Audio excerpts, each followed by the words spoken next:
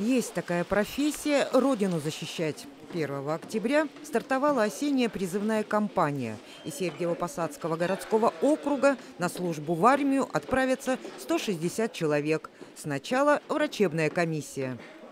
И спиной. Пятки вместе, голову, голову прижимай. Опускай козыречек.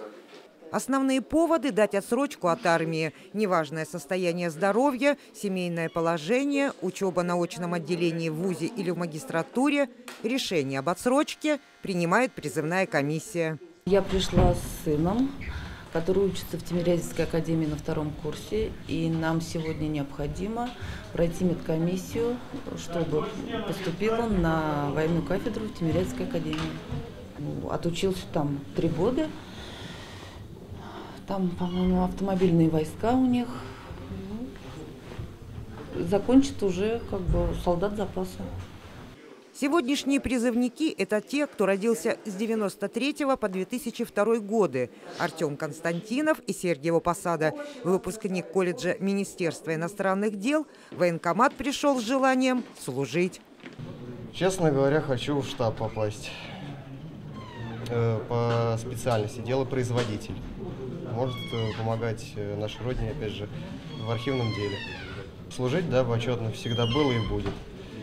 Э, С настроем иду хорошим, уверенным. Служить хочу. Здоров? Здоров, да. Осенний призыв в армию продлится до 31 декабря. За неявку в военный комиссариат на молодых людей могут завести административное или даже уголовное дело. Однако в последнее время косить от армии, по наблюдению сотрудников военкомата, ребята стали реже. По опыту весеннего призыва я вам хочу сказать, что в этом году призыв мы выполнили на отлично в связи с тем, что ребята шли с большим желанием и хотят служить. Может что-то в их сознании поменялось, может быть пандемия повлияла на их вот это вот решение. Но ребята шли с удовольствием, даже не было такого количества уклонистов, и уклонисты с каждым годом сокращаются. После прохождения медосмотра члены призывной комиссии выносят решение о том, какую категорию годности присвоить призывнику. Яков Алексеевич, готов в армию пойти? Да. Состояние здоровья у вас нормальное все, да? Да. Б4 только вот у вас. У нас как раз в этом году очень много Б4.